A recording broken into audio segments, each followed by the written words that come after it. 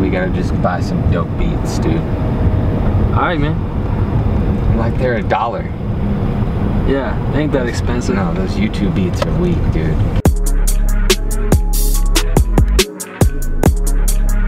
Remind me what financials I sent you. Um, I think it was a pro forma for a new um, off-market one. Are you guys buying local or are you guys just out of California? Um, we're out of we're in California, San Diego. Okay. We're concentrating more in Albuquerque. Okay. Have you bought any other property here in Albuquerque yet? I bought one little and it was just uh, my own house. Okay. I lived there for, for two years and I lived there for two years. It was cheaper to buy. Albuquerque's rental market is really strong, so it is cheaper to buy a house than it is to rent for sure. Um, Yes. Send Thank that you. letter of intent over, and I will present it to the owner, and we will go from there. Hope we'll, we can get it tied down. Yeah, hopefully. Thank right. you. Have a good day. You too. Thanks, Julio. Bye. All right, bye. Right. Boom. It's getting property sold. Not even on the market yet. I've already got a buyer for it. That's called hustling.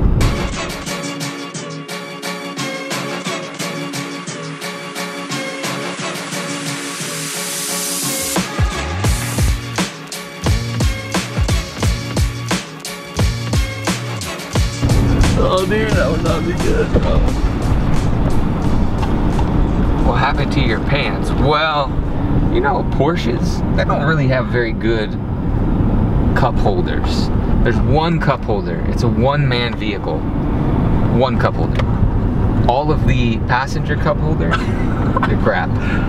They're rickety. They're flimsy. I don't even know what they do. Look at that thing. What is that thing?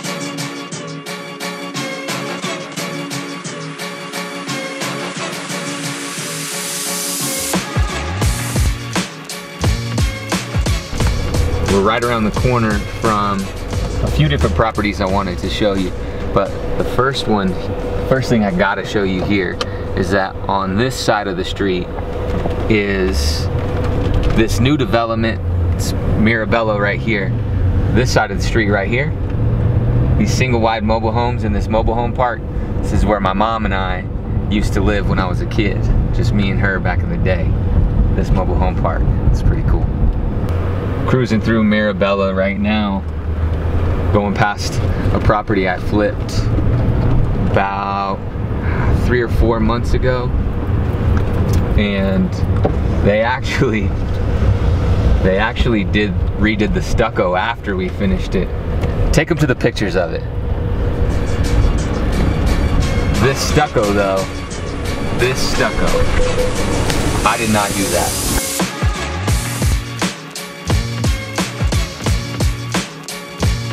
Seriously though, I have no idea why you would pick that color of stucco. I don't know why the HOA let them pick that color of stucco. Maybe they didn't. Maybe they maybe they have a fine going right now for their stucco color picking. I've got a rental right here on the other side. I got two rentals right here on the other side. Right here, got one on Glacier Bay. I've had that one for a long time. One of my clients, good dude in the military, uh, bought that years ago when he got uh, PCS to Kirtland Air Force Base and kept it as a rental and actually had reached out to me a couple months ago about buying another one here. Uh, we've been just just been trying to dial one in, track it down for the for the the right uh, numbers that he's looking for. So uh, maybe we'll be able to find him another one soon.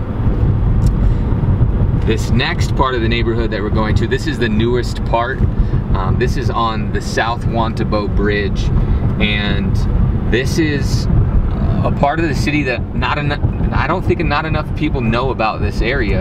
Um, it's there, it's just booming. They they have developed this entire stretch, and it's absolutely amazing. I mean, it, it's beautiful. And so one of the reasons why I like this area so much is because I actually lived here. Uh, my wife and I bought one of the earliest part of the development's foreclosures. There was a property that was foreclosed, and we we actually, based on the pictures that we saw, wanted nothing to do with it, but we we liked the thought of living over here because it's a newer development, it's nicer homes, and but the pictures were awful. They were just, oh, they were terrible. And so we had been looking, we had been looking, and uh, we finally were like, let's just go take a look at this one. I think, I, I think maybe we can figure it out. We, we came and checked it out and we were like, oh, it doesn't need near as much work as we thought. And the neighborhood's awesome and it backs a ravine and the ravine backs the the golf course community. This is this is great. And so the story gets better and better as we go. We bought this house before we got married. We started all the rehab stuff and got it to where it was almost 100% ready to move into by the time we came back from our honeymoon. Of course, we didn't live together before we got married, so we had this thing ready to go.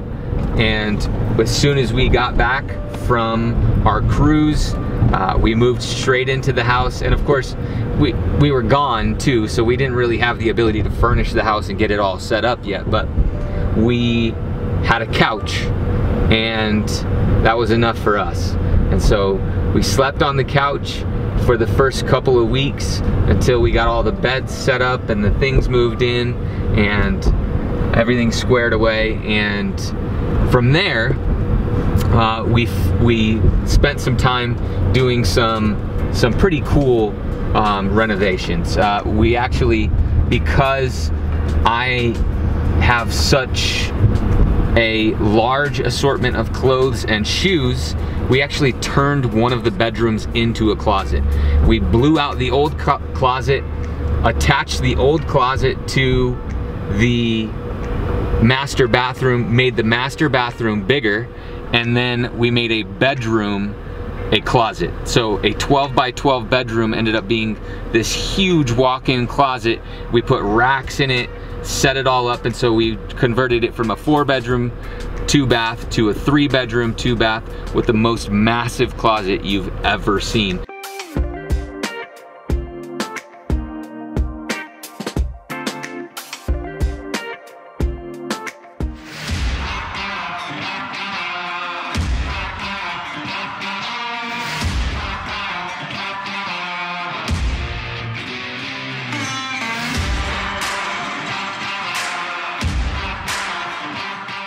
All right, so I've got a buyer who's in Tucson.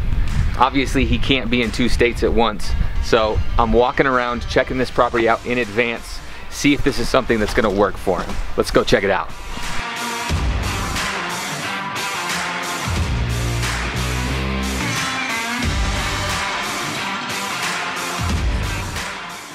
So right off the bat, I think this is gonna fit a lot of what Mike's looking for, which is why he sent it to me in the first place. Obviously, being a Southwest style home, this property captures sort of that styling. It's got these wood vigas, it's got a TNG on the ceiling, it's got this center fireplace, and it's got that look that Mike's after. So I think the kitchen again is gonna be a plus for Mike. Uh, it's been updated, it's got granite countertops, stainless steel appliances, um, the flooring is updated, and the cabinets look great. I think this is a win for sure.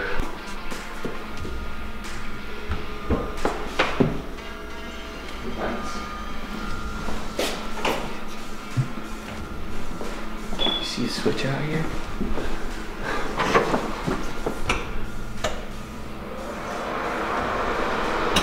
The downside to it being empty is that it's so echoey. I hope that that helps. I hope that that doesn't pick up horribly.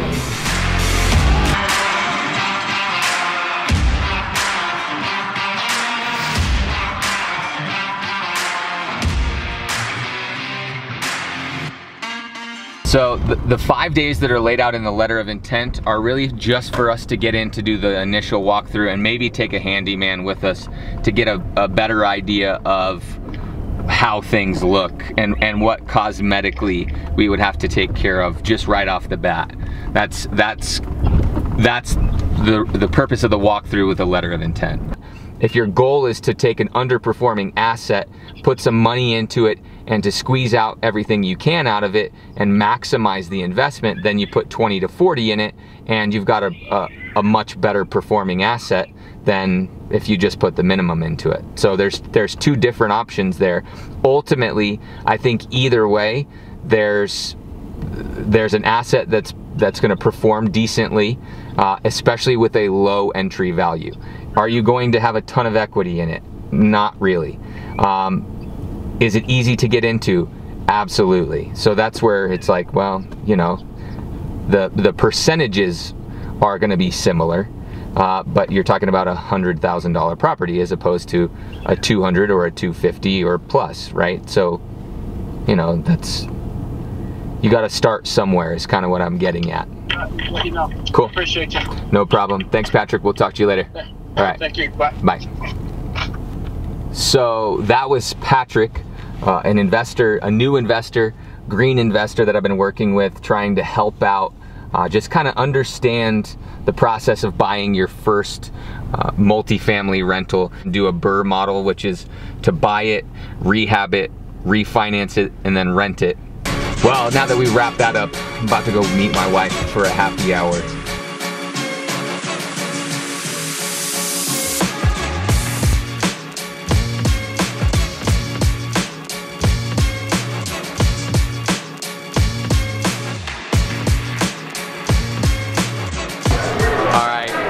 Here. That means you can't come with me. I'm out.